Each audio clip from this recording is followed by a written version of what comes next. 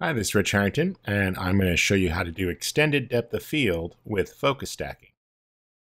I have three images here. Let's open those up into Camera Raw real quick.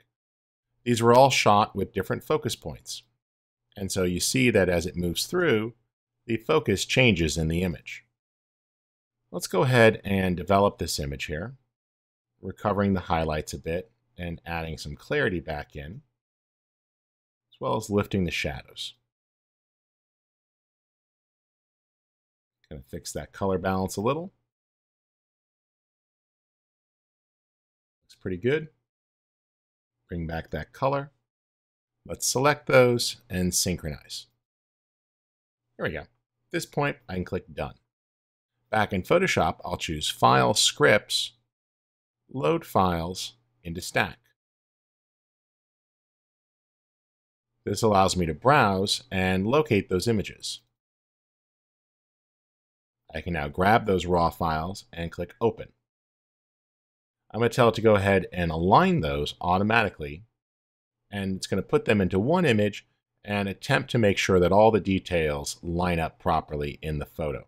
Now, if you shot on a tripod rock solid, you may not need to worry about that option. There we go. Let's select those three images now, and I'll choose Edit, Auto Blend Layers, and I'll tell it to stack the images, making sure that everything is seamless. It's going to analyze those and then generate some masks to blend that together to give me an extended depth of field within the shot.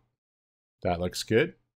And you see if we turn those on, how different parts of the images were used to create a greater depth of field than I could pull off with the lens. Let's crop that in just a little bit. We'll go with a 5 by 7 switch that. And let's take that closer to the native 16 by 9 that I shot this at. That's looking good. And we'll crop that image and finish it out with a curves adjustment, taking advantage of auto curves. I just option or alt clicked on the curve, told to snap the midtone there, and we're just going to pull the middle down just a bit.